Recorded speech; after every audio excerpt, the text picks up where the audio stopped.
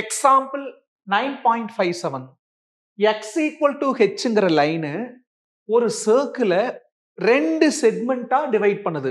அதில் smaller செக்மெண்ட்டுடைய area என்னன்னு கேட்குறாங்க இப்போ ஹெச் அந்த எக்ஸ் ஈக்குவல் டு ஹெச் இருக்கு இல்லையா? அது நம்ம இந்த பக்கம் எடுக்கலாம் இல்லை ஆரிஜின் அந்த பக்கம் எடுக்கலாம் இப்போ இந்த பக்கம் எடுத்தா இது பெரிய செக்மெண்ட் இது சின்ன செக்மெண்ட் இதோட ஏரியா வேணும்.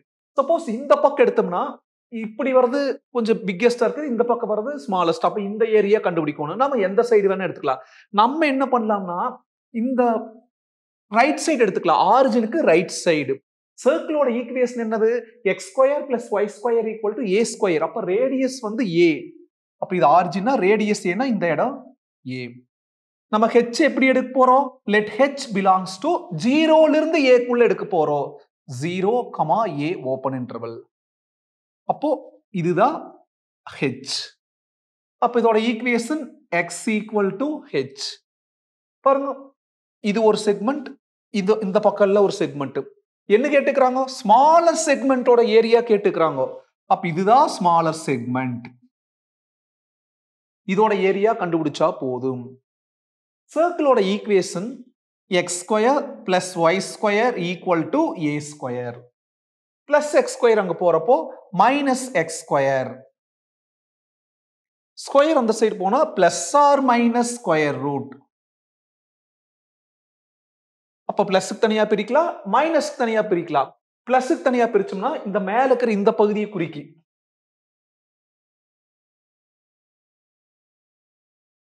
y equal to root over a square minus x square minus பிரிச்சோம்னா கீழே இருக்கிற இந்த செமி சர்க்கிளோட ஈக்குவேஷனை அந்த மைனஸ் டினோட் பண்ணு. அந்த ரெண்டும் சேர்ந்துதான் அந்த ஃபுல்ங்கிறது இந்த ஒட்டுமொத்த சர்க்கிளோடைய ஈக்குவேஷன் இப்போ இங்க பாருங்க. இந்த ஏரியா ரெண்டு ஏரியா மேல ஒரு ஏரியா கீழே ஒரு ஏரியா ஏன்னா சர்க்கிள் வந்து symmetric symmetric about both x axis and y axis அப்போ ரெண்டு ஏரியா தனித்தனியாக கண்டுபிடிக்கிறதுக்கு பதிலாக மேலே இருக்கிற ஏரியா கண்டுபிடிச்சிக்கலாம். அதை டூவால மல்டிப்ளை பண்ணிட்டா ரெண்டு ஏரியாவும் கிடைச்சிரு. பிகாஸ் மெட்ரிக்கு என்ன லிமிட்டு ஹெச் டு ஏ இந்த ஏரியா எப்படி இருக்குது? Area lies above x axis அப்போ ஏரியா லைஸ் அபோவ் எக்ஸ் ஆக்சிஸ்னா நமக்கு ஃபார்முலா தெரியும். என்ன ஃபார்முலா எக்ஸ் ஆக்சிஸ்னால இன்டகிரல் டிஎக்ஸ் அதே சமயம் எக்ஸ் லிமிட் வேணும். எக்ஸ் லிமிட் என்னது? ஹெச்ல இருந்து ஏ வரைக்கும். இல்லாத லெட்டர் ஒய் எபவுன் காட்டி பிளஸ் அதே நம்ம கீழே எடுத்திருந்தோம்னா ஃபார்முலால மைனஸ் வந்திருக்கு. அப்ப இதோட ஈக்குவேஷன்ல ஒரு ஒய் ஈக்குவல் டு மைனஸ்னு இருக்கு. அப்ப அந்த ரெண்டு மைனஸ் சேர்றப்ப திரும்ப பிளஸ்ஸா அதே ஆன்சர் தான் வரும். எந்த மாற்றம் இல்லை. இப்போ ப்ரொசீட் பண்ணிக்கலாம். Is equal to integral h to a y ஒய்ங்கிறது என்னது? Root over a square minus x square அப்புறம் d x equal to third டைப்பில் first formula டைரெக்டான formula x by two root over a square minus x square plus a square by two sine inverse x by a இதுதான் formula இன்னொன்று இப்போ நாம் எழுதிக்கிற formula இந்த மேல இருக்கிற பகுதியை மட்டும்தான் குறிக்குது. அதே மாதிரி ரெண்டு பகுதி மொத்தமா இருக்குது. அப்போ முன்னால எதால மல்டிப்ளை பண்ணிக்கலாம்? டூவால மல்டிப்ளை பண்ணிக்கலாம். மறந்துட்டா கூட கடைசியில் ரெக்வயர்ட் ஏரியா ஈக்குவல் டு டுவைஸ்னு போட்டு மல்டிப்ளை பண்ணி எழுதிக்கலாம். அதுவும் கரெக்ட் இப்போ நம்ம ஸ்டார்டிங்லயே டூவால் மல்டிப்ளை பண்ணிட்டோம்.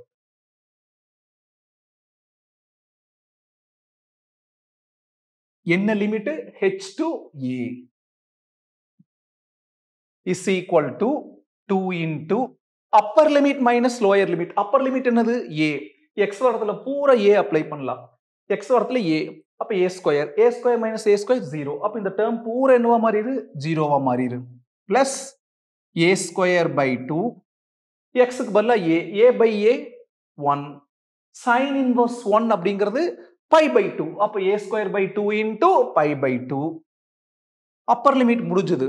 இப்போ மைனஸ் ஆஃப் ரவுண்ட் பிராக்கெட்டுக்குள்ள லோயர் லிமிட் லோயர் லிமிட் என்னது? ஹெச் எக்ஸ் வரத்துல பூரா ஹெச் அப்போ h by two root over a square minus h square ஏன்னா X வரத்துல h plus a square by two sine inverse x வரத்துல H H by ஏ இப்போ இதோட closing இது இதோட closing இது இந்த ஒட்டுமொத்தோட க்ளோசிங் இது.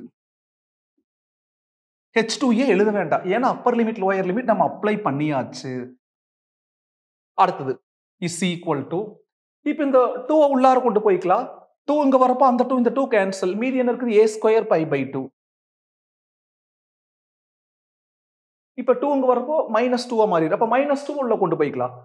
மைனஸ் டூவில் வரப்போ டூ டூ கேன்சல் மீதி minus h into root over a square minus h square minus உள்ள போகிறப்போ ப்ளஸ் என்ன ஆயிரு? மைனஸாக மாறிடு டூ கூட வருது இல்லையா? அப்போ டூ டூ கேன்சல் என்ன ஆயிரு? A square into sine inverse h by a இப்போ இதுல எதை காமன் எடுக்கலாம் ஏ ஸ்கொயரை காமன் எடுக்கலாம் அப்படி காமன் எடுத்தோம்னா pi by two minus sine inverse h by a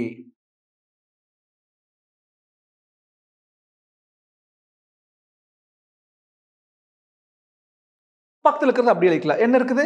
Minus h into root over a square minus h square is equal to a square into inverse ட்ரிக்னாமெண்ட்ரியில் நமக்கு ஃபார்முலா தெரியும் என்ன ஃபார்முலானா sine inverse x plus cos inverse x equal to pi by two அதே மாதிரி tan inverse x plus cot inverse x equal to pi by two secant inverse x plus cosecant inverse எக்ஸ் equal to pi by two நமக்கு இங்க தேவையானது இதை எழுதிட்டோம். இப்ப கவுனிங்க நல்லா கவுனிங்க. என்ன இருக்குது?